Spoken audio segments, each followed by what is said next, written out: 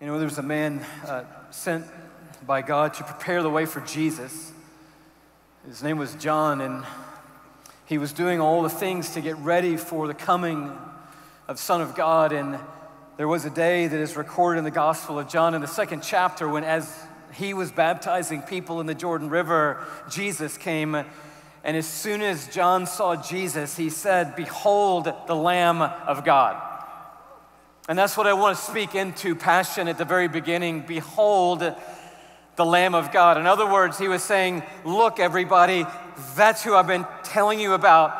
All attention turned now to Jesus because he's the one that we've been preparing the way for. And John had built up a pretty substantial following by that moment, but it didn't matter to him because he was waiting for Jesus. He was a forerunner for Jesus. And so his, his proclamation, his joy was in saying, Behold the Lamb of God. And I want to tell you, we've done a lot of preparation to get ready for this.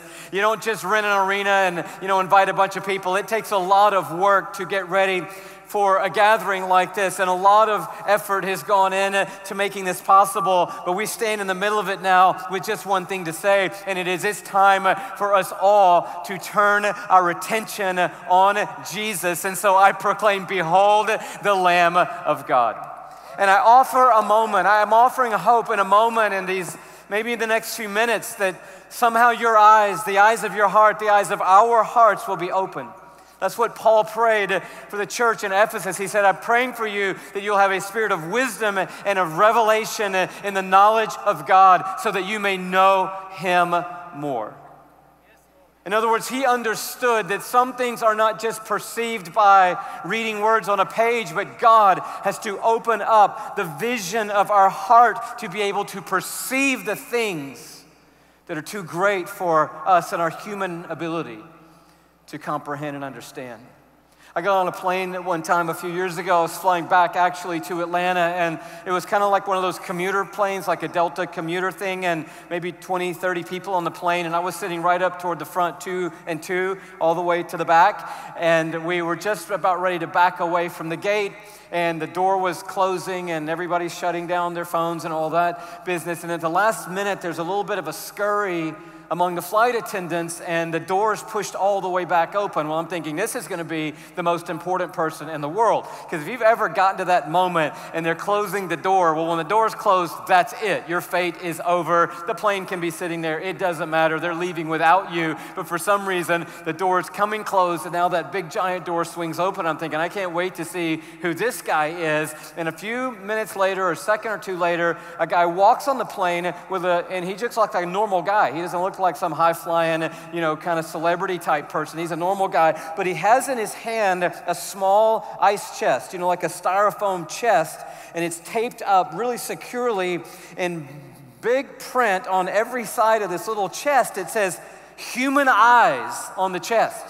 And I see this immediately when he gets on the plane. And you know, you can kind of do your cool thing like looking, oh yeah, whatever, whatever. But somebody gets on your plane with a little styrofoam container that has written on it human eyes. You can't take your eyes off that container or that person. And I'm starting to think, well, what is he going to do with it? He's not going to put it in an overhead container. I'm pretty sure about that. That's not what you do with that. He's not going to put it under the seat. I'm thinking he's going to just sit there and hold it because there's human eyes inside the styrofoam container container, and the guy just pops open the bin, looks at the lady, do you mind if I moves a little thing, and just shoves the thing in there and closes the lid, sits in his seat, adjusts himself a little bit, puts his stuff, gets his seatbelt on, and I'm just staring at the overhead bin. I can't take my eyes off the overhead bin. I, I don't, but I want to say, hey, look, man, I'll hold the eyes, okay? Because I got nothing to do for the next hour and a half. So if you don't want to hold them, I'll hold them. Give them to me. So the whole flight, would you like something to drink. No, they're human eyes in the overhead container above that guy's seat right there. Would you like some pretzels? I'm like, no, I don't want any pretzels.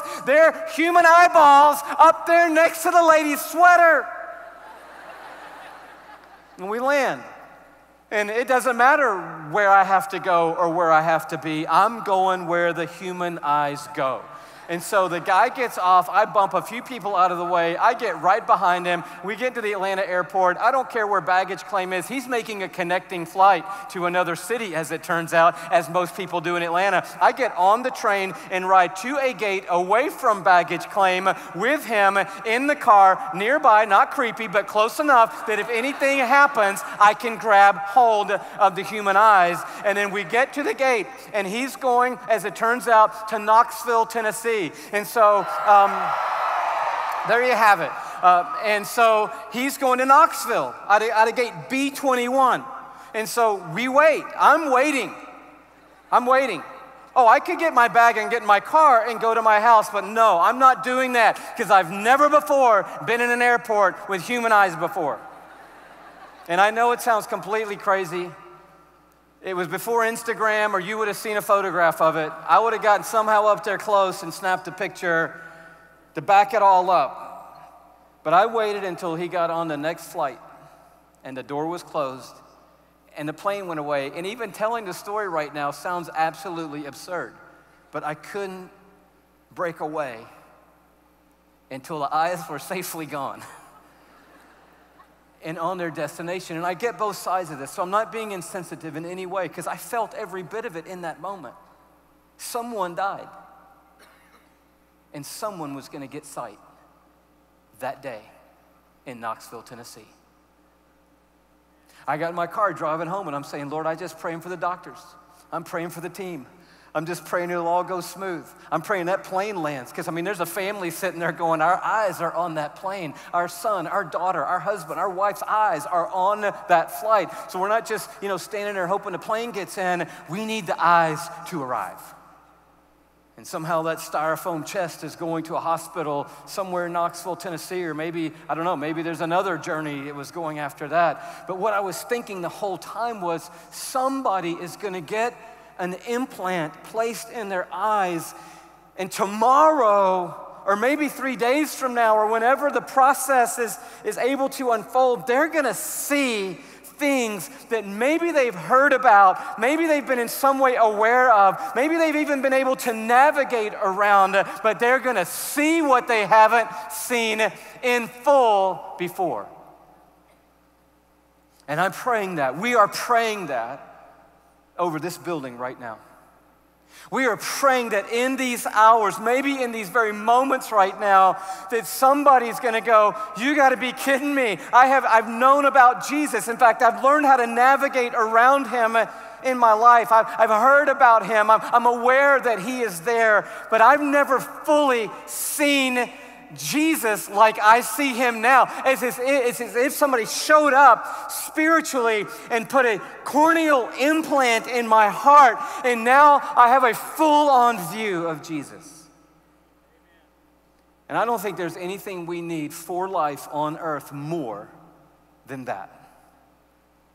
And I'm not going to settle tonight. I'm not going to buy in tonight that we just have a gathering of a lot of Christians or mostly Christians or people who follow Jesus or know about Jesus or have been on the track. I'm not going to buy into that. I'm going to really lean a little bit forward and say, Have you really seen Jesus? Or you may be more in the camp of saying, I've learned how to negotiate life knowing about him, uh, but I don't know if there's ever been a moment that I was literally floored and done because of what I saw of who Jesus is and what Jesus has done to bring me back to life again. And I want us to pray that in God's kindness and in His grace, that that will happen to people in these days.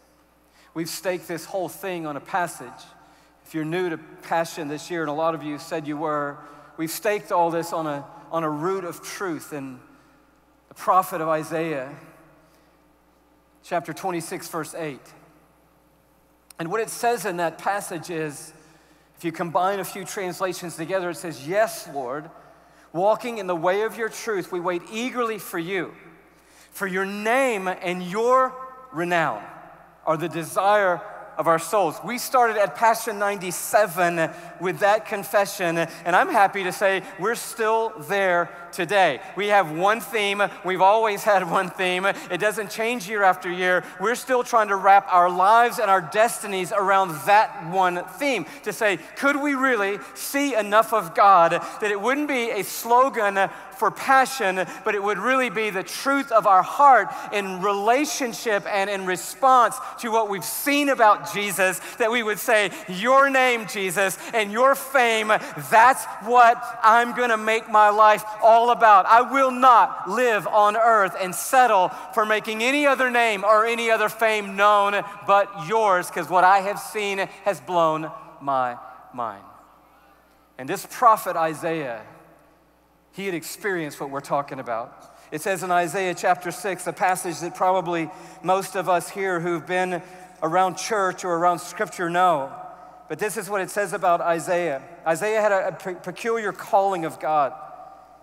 And I want to uh, ask him to lead us to Jesus and to lead us to the salvation of God. This prophet who is living in the city of Jerusalem centuries before the birth of Christ. And his name alone, Isaiah, means Yahweh is the God who saves. And so he's, he's appointed by God to be a messenger to the people of God to say, You're really a messed up people, but God is a a kind God and He's a redeeming God and He's working out a plan for you. And there's going to be a moment that a man named John the Baptist says, Behold the Lamb of God who takes away the sin of the world. And Isaiah is setting all of that up. But he has a long road ahead of him because preaching repentance and preaching about redemption to people whose lives are messed up is a hard calling. And God knows that he needs to see before he can walk out into the destiny that God has for his life. And so it unfolds this way in Isaiah chapter 6. And I'm sure most of us know this passage, but it says, In the year that King Uzziah died, I saw the Lord. Can you just say that with me? I saw the Lord. Can you say it with me? I saw the Lord. Okay, there's the phrase. He says, I know right when it was, and I know right where I was because I saw the Lord. And here's one of the things we're going to talk about a little bit later. If you, if you have eyes given to you by God, and you do have a spirit of wisdom and of revelation in the knowledge of God so that you can know Him more. If you do have a moment where it moves from information uh, to revelation uh, and God is kind to you and God opens your view to see Jesus, you're gonna remember where you were, you're gonna remember what time it was, you're gonna remember everything about that moment. And Isaiah isn't writing to us, yeah, you know, back, back somewhere along the journey, I can't remember exactly when it happened, but there was somewhere along the way that, you know, I, I, I, I think I kind of really saw God. He's like, no, no, no, no. In the year that King Uzziah died, that's the year that I saw the Lord. And he saw two things about the Lord. He saw the brightness of his glory, and he saw the breathless beauty of his grace and mercy. In this glimpse, we don't know how long it lasted, he saw the brightness of the glory, the holiness of God. And I, I, believe we need that. I believe we need God to help us see the brightness of his glory and his holiness. And in that same interaction, he saw the breathless beauty of the grace and the mercy of God. And he got a foretaste of what his message was to be for his whole lifetime to the people. God is going to redeem you. It may look bleak because of your sin, but God is going to redeem you. He said, When I saw him, this is the way he described it. I saw the Lord seated on a throne, high and exalted, and the train of his robe filled the temple, and above him were seraphs, each with six wings. With two wings they covered their faces, with two wings they covered their feet, and with two wings they were flying, and they were calling to one another, Holy, holy, holy is the Lord Almighty. The whole earth is full of his glory. And at the sound of their voices, the doorpost and the thresholds shook, and the temple was filled with smoke. So these, these, these angelic beings, these seraphs, they, they called out one to another and, and they were floored by the presence of God. These are angels. These are not sinners. They're angels created by God to worship God, and they're covering their faces and covering their feet, and they're, they're flying with two wings. And one calls out to the other, Holy, holy, holy is the Lord God Almighty. The whole earth is full of his glory. And the other one answers to him, Holy, holy, holy is the Lord God Almighty. The whole earth is full of his glory. And the other one answers back to him, No, holy, holy, holy is the Lord God Almighty. Can we just step into this for a moment? They're created purpose is to continually, day and night, for eternity, only say two phrases. And they will never feel like they got shortchanged in their created destiny. Because what they are seeing is so stunning that they are happy just saying for their whole existence two lines Holy, holy, holy is the Lord God Almighty. The whole earth is full of His glory, and I'm good with that. I don't need anything after that. I don't need any other entertainment after that, any other glimpses after that, anybody else to show up with something else after that. I don't need to see anything else. I've seen enough that I'm happy and satisfied for my whole existence as a seraph. To say one phrase. You know, we're the most distracted people on planet Earth. We're the most distracted generation ever created. And we're all in it together and we all celebrate it. I'm not here to rail against it, but we, we've just got so much coming at us, we can't go two feet without, you know, thinking about this or that or where these people are, what they said or what they tweeted or what they Instagrammed. And we're just a distracted generation and we need constant input. Sing me another worship song. Sing me another song about God. Come tell me another great story about God. Come tell me another time how much God loves me. Come tell me again that God is going to come through. Come tell me again, or sing me another thing, or lead me in another way. And maybe we just need a bigger view. Maybe we just need better eyes. Maybe we need a revelation of God that is so strong and so sure that it actually is durable in our lives and it leads us on. And we say, oh, yeah, I want to keep worshiping and I love to keep learning, but I have seen enough of Jesus that it shook me up, stopped me in my tracks. It rearranged everything, and that's what it did for Isaiah. He said, when the temple filled up with smoke, he knew it was over. And this is what he said He said, Woe to me, I am ruined. From a man of unclean lips, and I live among a people of unclean lips. And that was never as big a deal until this phrase, and my eyes have seen the King, the Lord Almighty. I'll get to this quickly, but the reason why it's important that we ask God to help us see Himself, to see Jesus, is because we never really understand our condition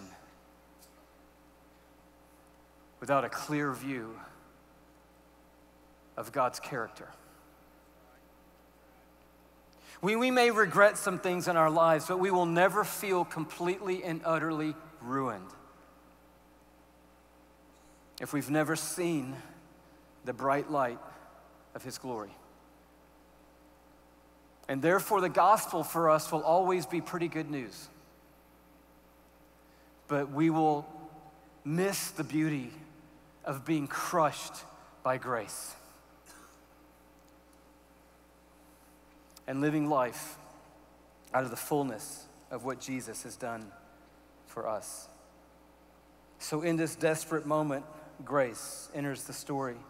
Then one of the seraphs flew to me with a live coal in his hand, which he had taken with tongs from the altar. And with it, he touched my mouth. And he said, So the seraph gets another phrase. Interestingly, the seraph now has a directive phrase. So he's got a worship moment, and now he has a gospel message. And he says, See, this has touched your lips, your guilt is taken away, and your sin is atoned for. Can I just say that phrase again?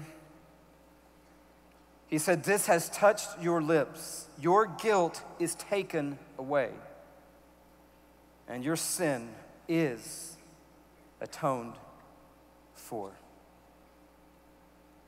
So I wonder, when, was it that you saw the Lord?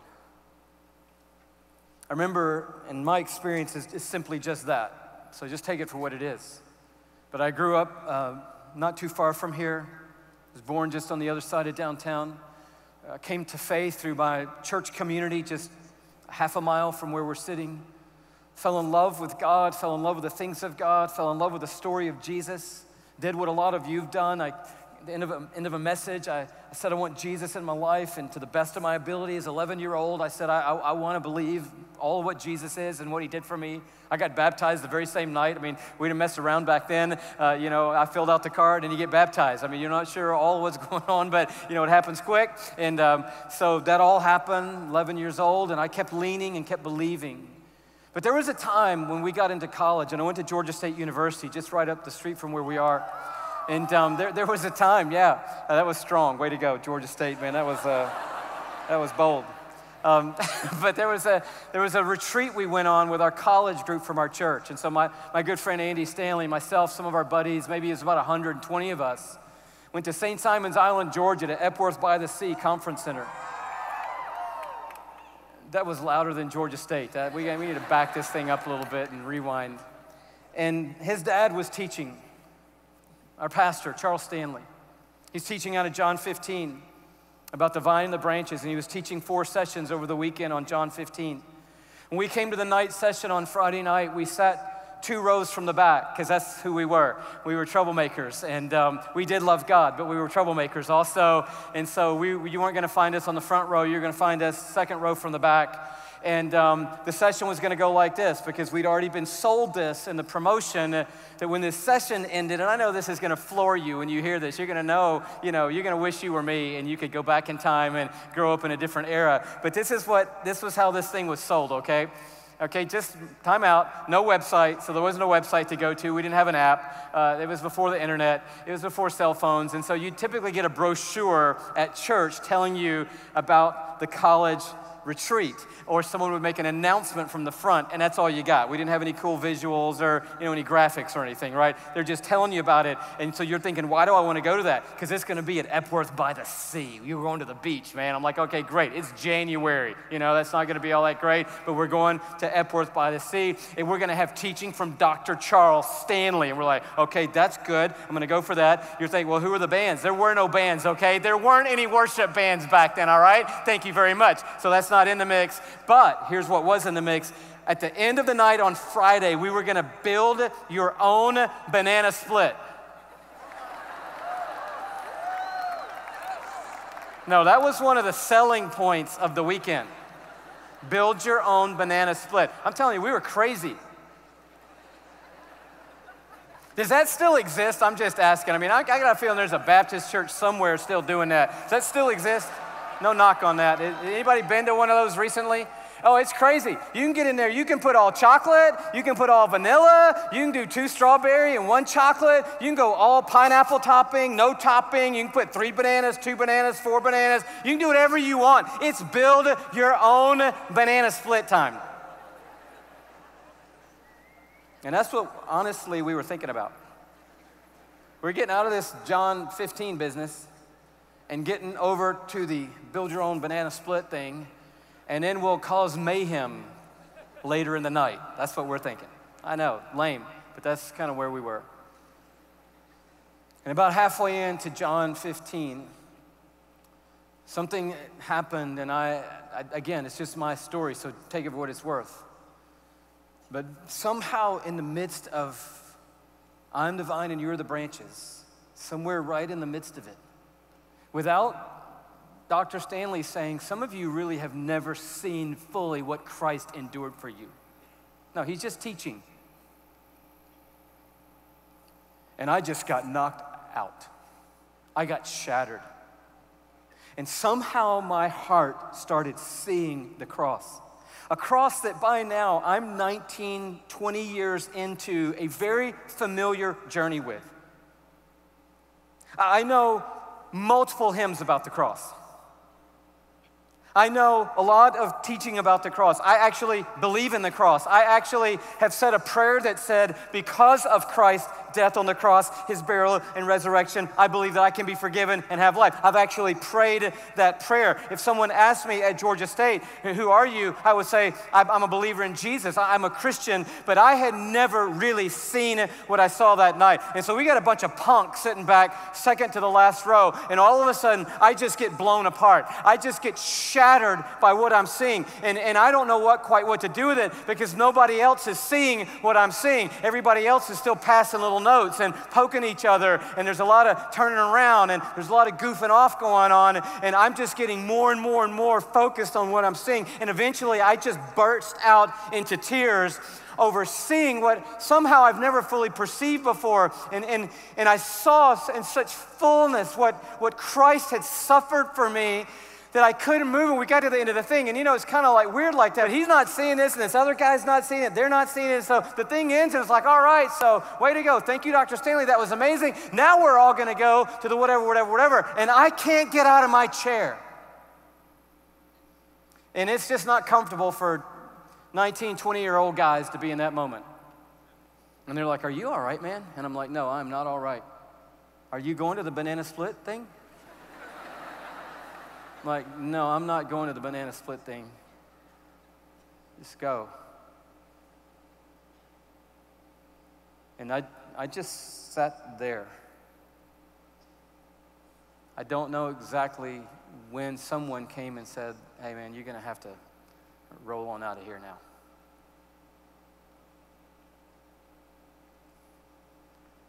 And what I saw shook me up. And I'm not saying you have to go on a retreat, and you have to sit in a chair, and you have to see something, and your friends don't have to be frustrated and confused. And, but there's got to be a moment somewhere in time that the eyes show up and that they get transplanted into your eyes. And you go,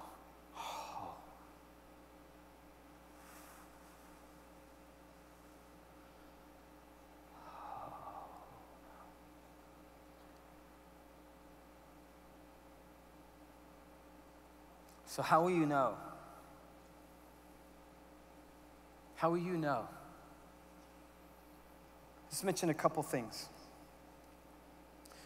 When our eyes are opened to see that Jesus was crushed by the grace of God, a few things become clear, and I want you to take some notes if you can. I'll give them to you quickly. The first thing, or one of the things, no particular order, that becomes clear is that we understand that it's not just the cross, it's our cross. And that's a big shift.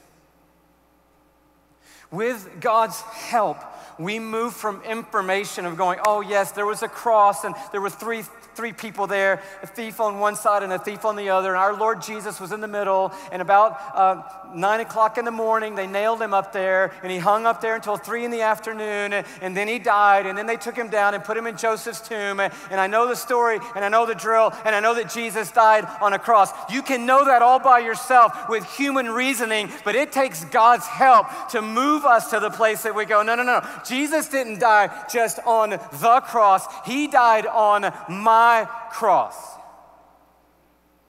Translation for us there was only one victim, there is only one victim in the gospel story, and it's not you and it's not me. We are not the victim in the gospel story. There's just one victim in the gospel story, and his name is Jesus. And that's a tough sell to a generation of victims.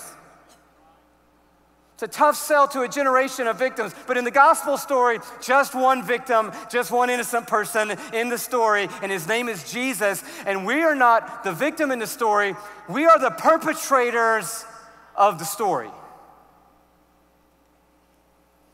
And we need help to fully understand that.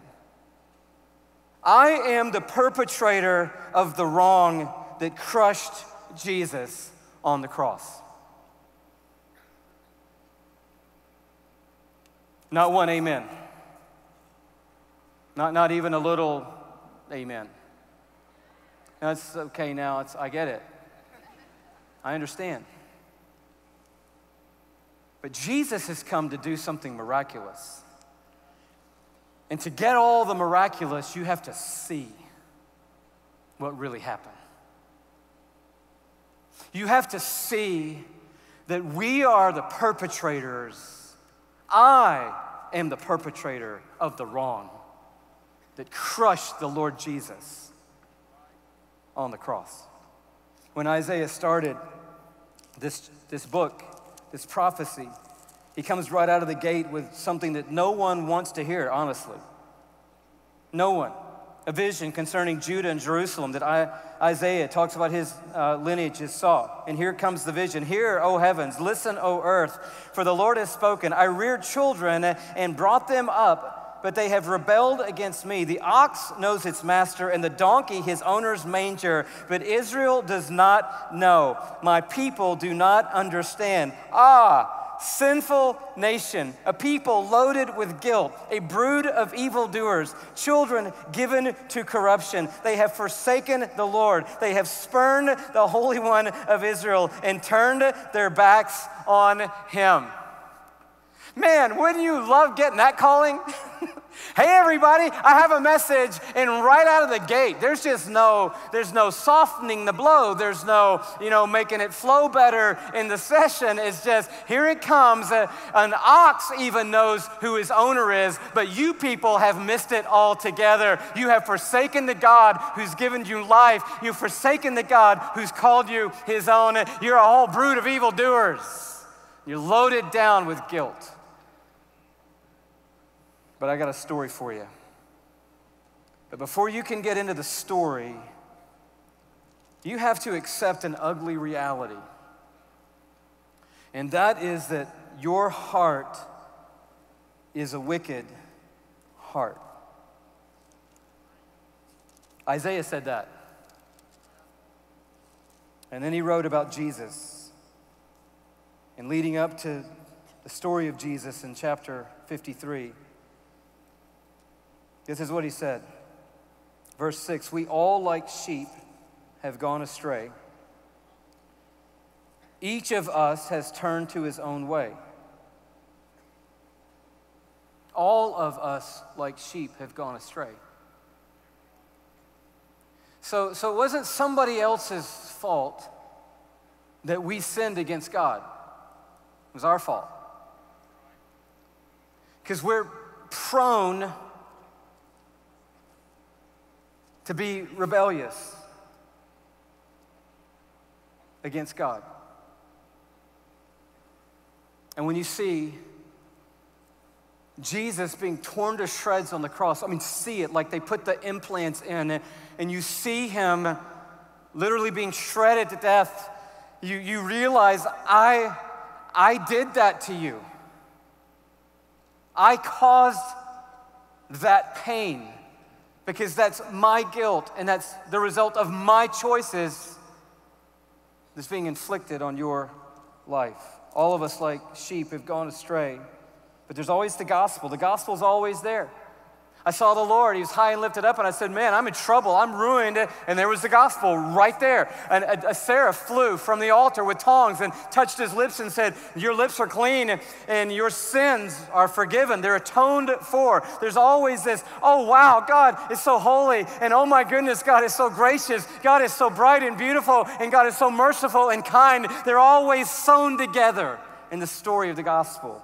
And they're sewn together right here in this chapter because it says, All of us, like sheep, have gone astray. Each of us turned to his own way. But look what it says. And the Lord has laid on him, on Jesus, the iniquity of us all.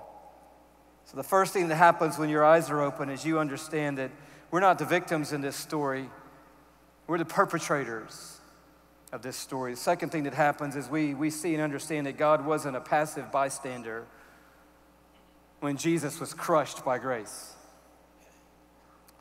Actually, God was the instigator of the weight of the wrath that crushed Jesus on the cross.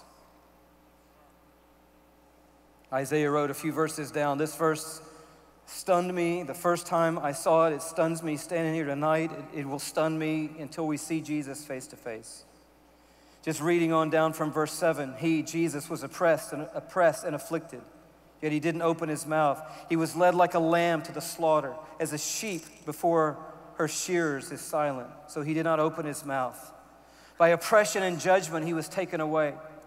And who can speak of his descendants? For he was cut off from the land of the living. For the transgression of my people he was stricken. He was assigned a grave with the wicked and with the rich in his death though he had done no violence, nor was there any deceit in his mouth. But look at this next verse, verse 10. Yet it was the Lord's will to crush him and to cause him to suffer. Now, I know that doesn't add up, and we're going to unpack that a little bit more as the weekend goes on, but that doesn't seem to add up. But come on, God wasn't an innocent bystander. He actually was the instigator of the weight of wrath that crushed Jesus on the cross. And it wasn't just that he had to do it, he actually willingly did it, he gladly did it. It was his joy, and it was his will to crush him and to cause him to suffer. And though the Lord makes his life a guilt offering, he will see his offspring and prolong his days. And so, actually, God was intervening in the moment. And it takes revelation to see and understand that. That God caused Christ to be crushed, and that Jesus had to sign off on it because he, in fact, was God in human flesh. So, for the deal to be sealed, Jesus had to agree to be crushed. And so he washed the disciples' feet in the upper room and he, he broke bread and he held up the cup. He proclaimed his, his life being given, his blood being shed, and he, they sang a hymn and they went out and they went out of the city, down through the valley, and up onto the Mount of Olives. And you know the story. They went to a place, what was it called? The Garden of where? The Garden of Gethsemane. And when they arrived there, Jesus said, I gotta pray, I gotta pray, I gotta. And what he was saying, translation was, I gotta sign off on this deal. There's a plan in place, gentlemen. There's a purpose of God unfolding, and this is the moment. This is the time. This is what it's all been about. This is what Isaiah was about. This is what John the Baptist was about. This is what the 33 years have been about. This is what history is all about. We are now standing in the moment where the holiness of God and the glory of God and the grace and kindness of God are going to all collide in one moment that's going to change history forever. And I got to sign off on the deal tonight because they're coming to arrest me right now, and nobody arrests me unless I say so. Nobody takes my life unless I lay it down. Nobody goes forward with this plan tonight unless I, the Son of Man, say we're going forward with this plan tonight. And I got to pray because this is a big weight coming down on me. This is a lot of wrath that's about to fall on me. And no one's ever been crushed like this before. And he said, Guys, pray with me. And he went a little ways and they fell asleep and he prayed and he came back and said, Pray with me. And he went a little ways again and he pulled some of his closest guys. He said, Come on, guys, you got to pray with me. And when he knelt down, the scripture says, Jesus kneeling down in the Garden of Gethsemane, which means literally translated the olive press. That's what that word means. So, all around were olive trees, and when the olives were harvested, they were put in a press, and a big stone was rolled on them until the seeds were crushed, completely crushed, so that the oil then could flow. And so Jesus just happened to choose on the last night before he gave his life to kneel down in a place called the Garden of Crushing. And when he prayed, that weight was already pressing down. It was pressing down on him even in that garden. Before the first person laid a hand on him, the weight was already pressing down on him. And it was pressing out great drops of blood and sweat from Jesus. His blood was being shed before he even got to the cross. It had to be shed on the cross, but it was being shed before he ever got there. And before a man ever laid a hand on Jesus, his father was already squeezing the lifeblood out of the innocent Son of God. And he said, I'm going to sign off now. Is there another way? I'm asking one more time is there another way to bring salvation to these people, these, these perpetrators of all kind of craziness? He said, But nevertheless, not my will, but your will be done. And he heard them coming down the hillside with their lanterns and their hustling and all their bustling and power. And they came bursting into the scene. Jesus, in effect, said, Here I am. I've signed off on the deal. We're going to go through with it. The weight's already fallen. And if you can hold a lantern close enough, you can see the blood's already flowing. And you see that when your eyes are open. Oh, you can write it in, in, in, in your notes right now, okay. But when you see it, it changes everything. The third thing you see, and I'll give you these and we'll, we'll move on. The third thing you see is you see that God's wrath, when it fell on Jesus, it obliterated our curse. Someone should amen there. Thank you. That when God's wrath fell on Jesus, it obliterated our curse.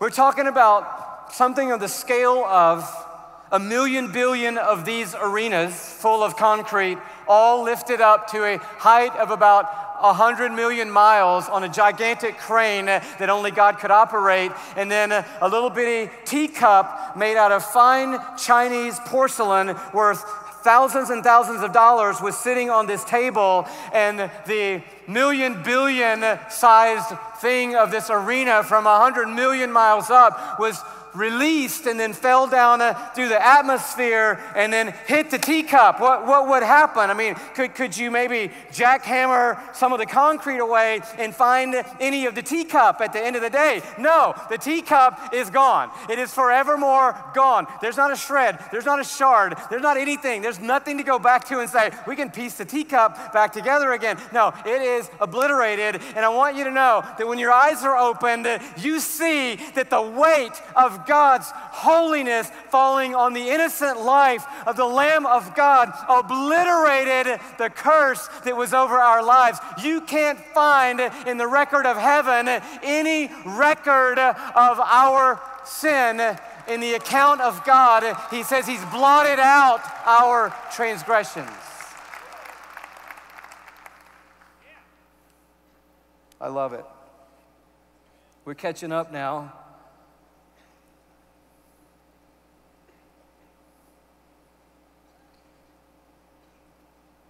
It's not a process, it's finished. God's not doing away with sin, He did away with sin. God's not in the process of taking away our shame.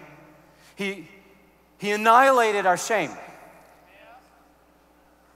So Paul would come behind Jesus and say, There is therefore now no condemnation to those who are in Christ Jesus. Why? Because when the weight fell down, it obliterated the curse. So shame done. Guilt, my friends, is over. I mean, I, am happy to be the bearer of good news, but guilt is over. You say, well, what, what, do you mean? I mean, Isaiah was even making reference to it, and he said it was the Lord's will to crush him and to cause him to suffer if he would make his life a guilt offering. And so God transferred our sin, our guilt, our wrong, our shame, and all of the curse of our lives onto the innocent life of Jesus. And then he annihilated Jesus on the cross. And when he did, it was a wipeout. It was a complete wipeout. And if you take a jackhammer to the hill of Calvary, there aren't the little shards there. It's just a wipeout. And the enemy has been defeated.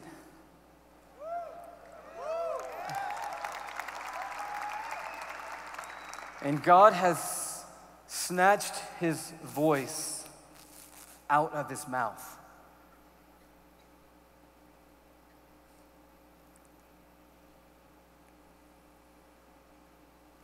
And when you see what happened to Jesus, you believe it.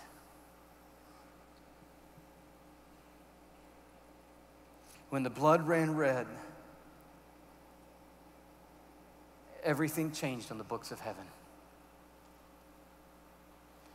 And by faith, in the blood of Christ shed, we are forgiven and free. For by his wounds we are healed.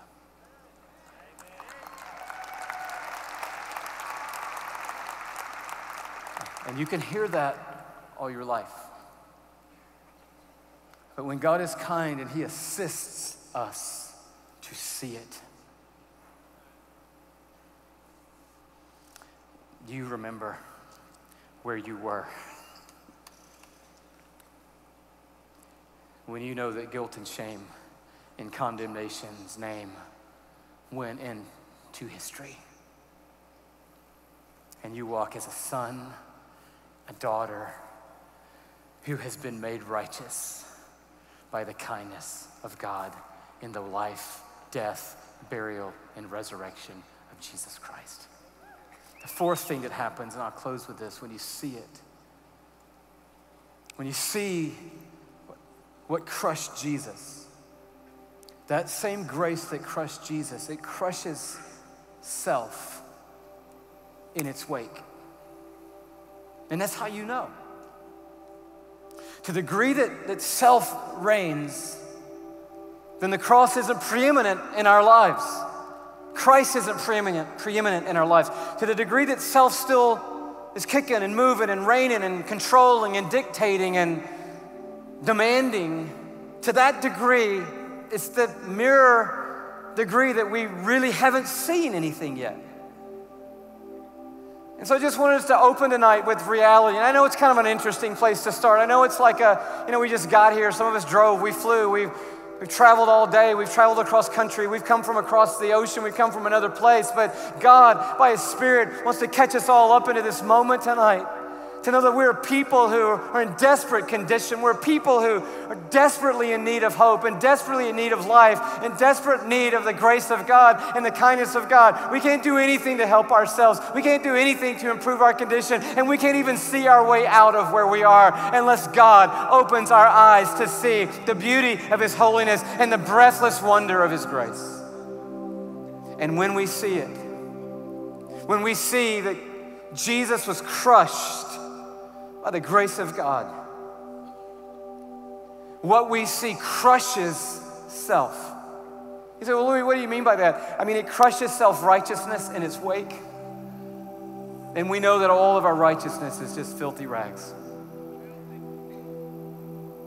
Thank you, prophet, for telling us that. You could say that well, having seen what you have seen, you could say that well to us. So, any effort on our part to improve our condition is pointless and powerless.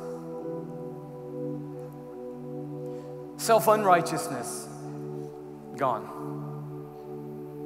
Any notion that I'm not good enough to be loved by God, gone. Any lie that's taken root in our heart and our journey that says, oh, yeah, this is for everybody else, but, but you've gone too far. You've done too much. Your stain's too, too deep. Your life's too jacked up. You're wrong. It's over the limit. All of that kind of thinking that I'm too unrighteous to be loved by God, approved by God, accepted by God, forgiven by God, claimed by God, rescued by God, invited in by God. All that is obliterated when you see the cross. And you can have someone sit there year after year after year after year and say to you, No, no, no, you really are good. No, no, no, God really does love you. No, no, no, God really does treasure you and prize you and care for you. Or you can just get new eyes transplanted into your heart and go, Oh my my word. I see the Son of the living God giving his life to pay for me, to buy me back, to pay my price, to ransom and rescue me back to my Father. I have seen Jesus, and Jesus bought me with his life. I am prized by God, people. I am loved by heaven, and I believe it and I receive it.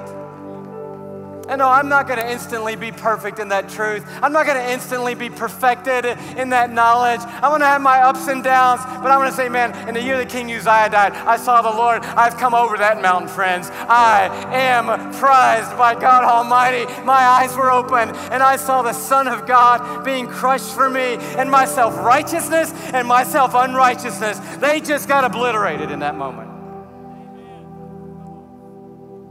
Self made plans, gone. Self made life, finished. Self made name, irrelevant. Self preservation and self protection, who needs it? No one protected Jesus when it was the, the, the will of God Almighty to crush him. He wasn't thinking self preservation he was thinking you preservation. He wasn't thinking self protection, he was thinking you protection. And he was gathering the lambs of God into the bosom of their Father. That they could say, Though I walk through the valley of the shadow of death, I will fear no evil, for you are with me. And we're living in a world, we're living in a world that doesn't want to accept any, any blame, and they will never see and taste the miracle of the cross of Jesus.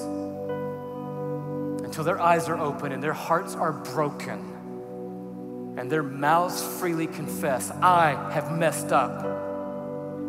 And I, being a mess up, am responsible for Jesus being messed up. But God Almighty was working all the time to both bring glory to His great name and salvation to all the peoples of earth. So praise God for the plan and the purpose of the cross. And at the end of the day, we say with our brother, what he wrote to the church, the churches of Galatia. We, we just come to this resting place. And we say, May I never boast except in the cross of our Lord Jesus Christ, through which the world has been crucified to me,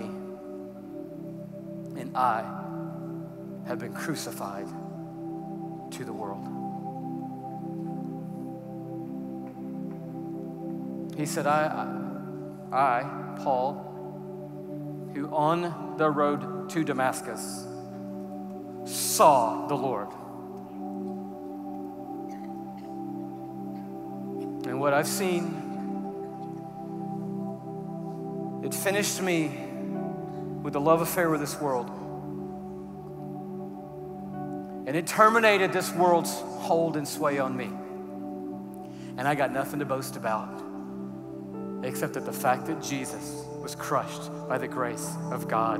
And when he was crushed, I was crushed. And I am no more, but Christ lives in me. So the life that I now live in the flesh, I live by faith in the Son of God who loved me and gave himself for me. For I am hidden with God. And my life is now hidden with Christ in God. For I am no more, but Christ lives. It's no longer me, but it's Christ. It's no longer what I want, it's Christ. It's no longer me calling the shots, it's Christ. It's no longer me picking the plan, it's Christ. It's no longer me boasting about you, it's Christ. It's no longer me getting sucked up into the world, it's Christ. It's no longer me seeing short term stuff, it's Christ. It's Christ. It's Christ. I got new eyes, people. I got a transplant of vision, people. I saw the holiness of God and the grace of God, and what I've seen has shut me down. It's rearranged who I am. It's changed me and freed me and healed me and delivered me. Christ is enough for me. Behold, the Lamb of God. He takes away the sins of the whole entire world. And He is here. And we are praying and trusting and believing that eyes are being opened right now. Right now. Eyes of people who've sat in churches their whole lives and their eyes are being opened. Eyes of people who can recite the verses, but their eyes are being opened. Eyes of people who had one hand in the air in worship and another hand just clinging to the world because it's so infatuating eyes of people who've been chained through their journey of faith because the weight of sin and shame has bogged them down and their eyes are being opened and they're like, I can run. I can run. I am free. I'm free.